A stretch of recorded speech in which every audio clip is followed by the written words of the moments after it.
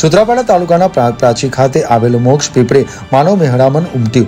પ્રાચી મોક્ષ પીપળે ભાવિક ભક્તોનો ઘસાડો પીપળે પાણી રેડીએ પોતાના પિતૃઓના આત્મા માટે શાંતિની પ્રાર્થના કરી. આજના દિવસે પીપળે પાણી, પિતૃઓ પાણી રેડવું. પિતૃ ઉપવાસ કરવી, શનિવારે શિવયોગ આખો દિવસ અને રાત્રિના બે વાગ્યાથી છ મિનિટ સુધીનો છે. વર્ષે શ્રાવણ મહિનાની અમાસના દિવસે શનિવાર છે અને શિવયોગ છે. આથી શ્રાવણ મહિનાનો અમાસ અને શિવયોગનો ત્રિવેણી સંગમ રચાશે. આ દિવસે શિવપૂજા, પિતૃપૂજા અને શનિદેવની પૂજા ઉપાસના માટે ઉત્તમ દિવસ ગણાય છે. આરાવરમાં પિતૃઓને પીપળે પાણી પીવાનું મહત્વ છે. આ દિવસે આ દિવસે શનિવારે અમાસ અને શિવયોગ સાથે શ્રાવણ મહિનાનું સમાપન થશે. આ દિવસે પણ પૂજા, પાઠ, જાપ, તપ, તર્પણ માટે ઉત્તમ દિવસ છે. આ દિવસે ખાસ શનિ અમાસને દિવસે એ માટે ખાસ છે કે આ દિવસે જન્મકુંડળીમાં કોઈ પણ દોષ હોય તો તેનો પિતૃદોષ પકડવા માટેનો ઉત્તમ દિવસ પણ ગણાય છે.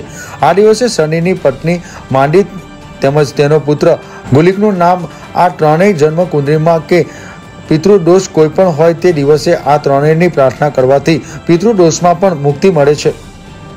Arvind સોડાનો report, news today, Gir Somnath.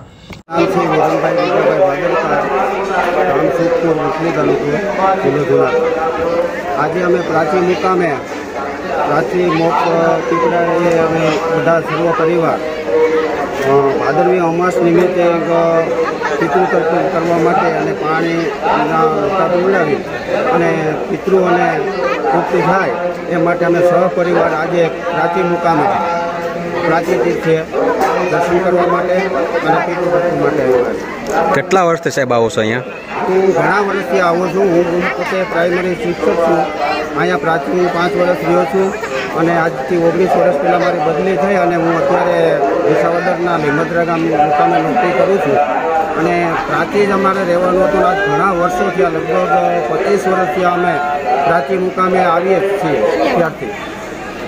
મારું નામ દેવેન્દ્ર કુમાર મગનલાલ પંડ્યા ઉર્ફે અકુલાડા પ્રાચી તીર્થમાં જ્યોતિષ અને કર્મકાંડનું કામ કરું છું.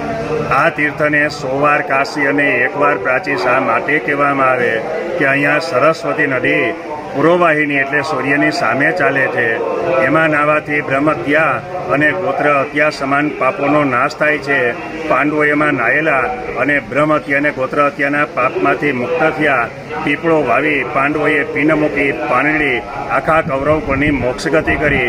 પછી ભગવાન કૃષ્ણ પરમાત્મા અહીંયા એણે પિંડ મૂકી અને પાણી યદુવંશની મોક્ષ ગતિ કરી એટલે આ પીપળે પાણી પાવાથી સાત પેઢી પર્યંતના પિતૃઓને મોક્ષ મળે. અહીંયા બીજું ગોત્ર પણ મોક્ષ પામે. મામા મામી ફઈ ફુવા માસા, માસી, બેન, બનેવી, આવો, હારા, ગુરુ અને મિત્ર, એને તમે પીંડ આપો, પાણી આપો એટલે મોક્ષ પામે. એટલે આ તીર્થને સો વાર કાશીને એક વાર પ્રાચી કહેવાય.